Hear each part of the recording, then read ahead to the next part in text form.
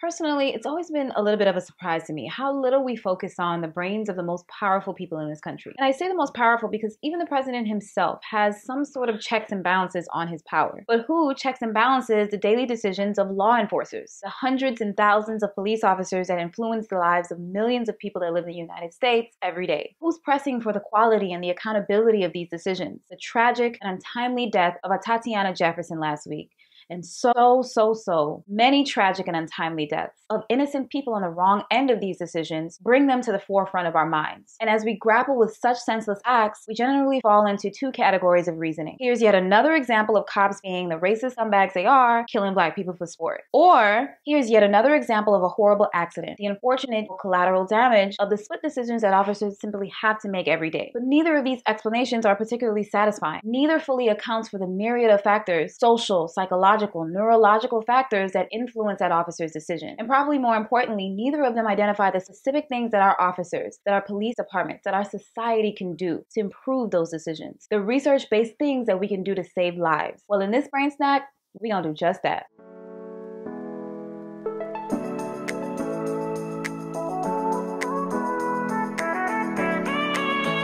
Take a really quick look at how decision making works in the brain. There's a stimulus in your environment, say your phone. Sensory neurons in your eyes and ears pick up on photons of light and wavelengths of sound and shuttle this electrical information to and through your brain. This is known as perception. Various regions of your brain process that information, filling that neurological tea about what's going on in your environment and what to do about it. This is the action or decision. Now, if it were truly this simple, we would all perceive the world the same way, we would all make the same decisions, and none of those decisions would ever be mistakes. Imagine a world with no car accidents, no typos, and no shootings of unarmed civilians. But alas, a host of internal and external factors act on the brain and influence both your perceptions and the decisions you make. Some of these factors we have absolutely no control over. So, for instance, we can't control what our brains do when we encounter intense, life threatening situations. It skips processing steps, bypassing the more intelligent cerebral cortex and darting key information to your amygdala so that you can deal with that threat faster. Now, this is fine and all, except it's not always accurate because that often visual information wasn't fully processed. So, an officer is much more likely to make perceptual mistakes in these cases cases, like screaming gun in response to a cell phone, when his brain skips steps like this. Again, this response is hardwired in the brains of almost all animals, so there's little that we can do about it. There are, however, a number of external factors that we can manipulate to ensure that the right officers are making the right decisions in even the most intense situations. First, let's take a look at implicit bias. Many police departments adopt an us versus them attitude towards policing. This is explicit bias, and it outwardly dehumanizes black and other communities of color. But implicit bias, it lays below the surface as unconscious or unintentional stereotypes about groups of people. These are more elusive beliefs that honestly most individuals, including officers, have about people in their social outgroups. But these mainly negative associations influences an officer's decisions and actions, whether or not he or she explicitly holds racist views. In a now familiar study known as a police officer's dilemma, participants playing a shooting game are much more likely to shoot black targets, both armed and unarmed, than they are to shoot white targets. So that's not nothing new. More interesting is that we let officers play this game. But before we did that, scientists tested them for implicit bias. And the more implicit bias an officer showed, the more quickly he responded to black targets in this game. So not only was he more likely to respond to black targets, he was quicker to shoot them. In situations where every second mattered, and the tenth of a second can mean the end of someone's life, these differences between one officer's brain and the next matter just as much as the lives that they have the potential to take. So here lies the factor that we know makes officers more likely to kill people erroneously. And not only do we know about this factor, we know how to measure it and how to possibly reduce it. I can't be the only one that sees the one plus one equation here. And it turns out I'm not. Major police departments like Chicago and New York City have taken evidence-based strides to reduce implicit bias in their departments, implementing everything from traffic stop protocols to implicit bias training to changing hiring practices to recruit candidates that show less implicit bias and have more executive control. Shouldn't this be a national effort?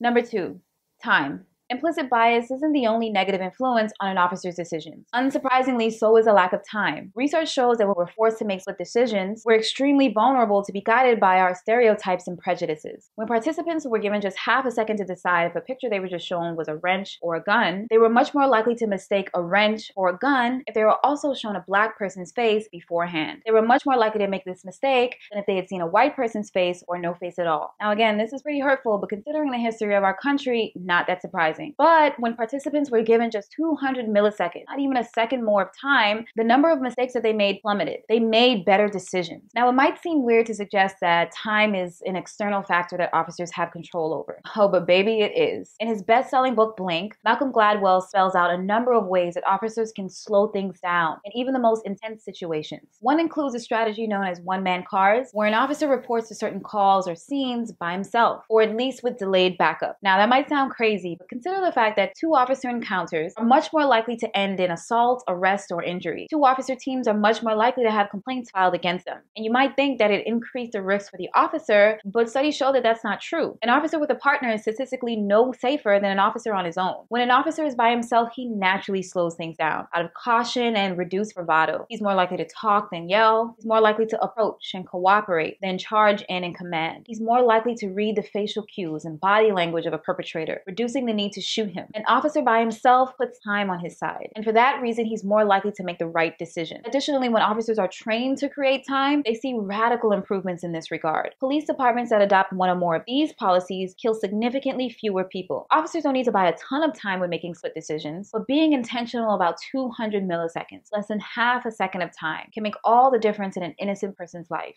Number three, experience. When you find yourself in a dangerous or an intense situation, your body pumps out hormones like adrenaline and your heart rate increases. An optimal heart rate to deal with most threats is between 115 and 145 beats per minute. A heart rate below this and your cells simply won't get enough oxygen to move very quickly. But a heart rate above this makes you clumsy and inefficient. You start making perceptual mistakes. Now, to the point, when an officer's training includes the simulation of being shot at, on average, his heart rate shoots up to about 175 beats per minute. They fail miserably at that simulation. But by the third or fourth time they've done it, their heart rate settles somewhere in that optimal range. In other words, experience makes an officer much more effective at dealing with highly stressful situations. In an interview with CBS, LaRhonda Young, a former Fort Worth police officer, criticized her colleague and said this My first thought is if I start walking around in the backyard and these people are home, they might shoot me because they don't know who I am. I think if that officer had been more comfortable with the area he was working in, she would have answered them and she'd have been alive today. She also said that it's important for officers to scope out their scene and collect as many sensory clues as possible before knocking on someone's door. This is a 12 years of experience that she had on that force talking. The officer that killed Tatiana Jefferson had been on the force for just one year and was being trained by officers with less than five years experience. The officers that killed Akai Gurley, Stephon Clark, Amadou Diallo, Freddie Gray, Oscar Grant, Samuel DuBose, Philando Castile, Alton Sterling, Jamar Clark,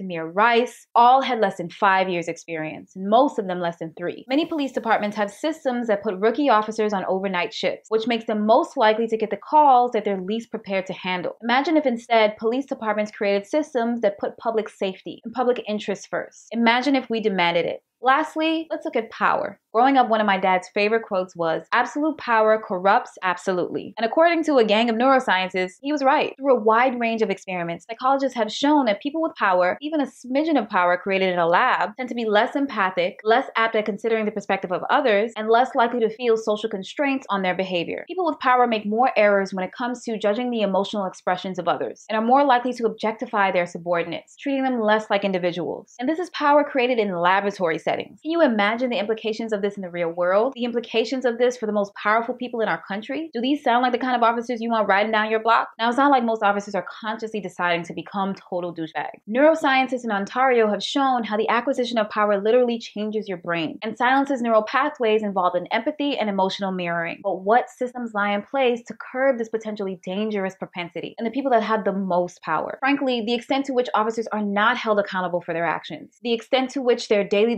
decisions, even the ones that end people's lives, go unchecked, just serve to further warp their already extraordinarily power molded brains. Kanye West said it best. No